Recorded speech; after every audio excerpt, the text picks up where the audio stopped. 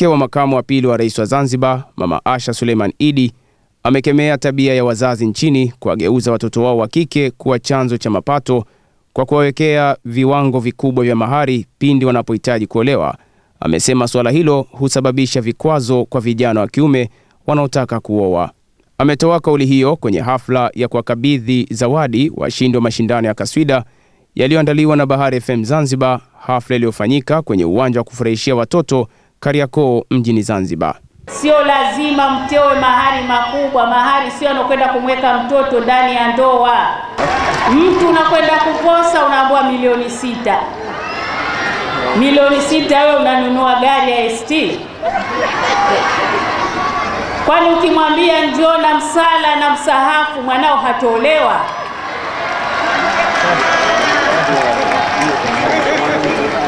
Msiwafanye watoto wenu wa kike vitega uchumi, na matokeo yake unataja mahari mengi, akenda kwa mume kitanda humpelekei.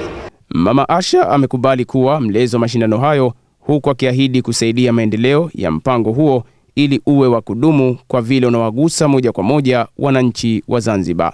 Kwa hivyo nitakuwa pamoja na ninyi kwa shida na raha. Awali, mkurugenzi mkuu wa Bahari FM Hassan Mitawi amewaahidi wasikilizaji wa Bahari FM kuendeleza sifa zote zinazonogesha maisha ya jamii kupitia matangazo yake ya kila siku. Ndio maana leo tumeanza na tunaendeleza mambo ya kasda. Kazi yetu ni kushughulikia jamii, jamii kwa ujumla, kuwaletea amani, kuwashawishi watu wawe na amani.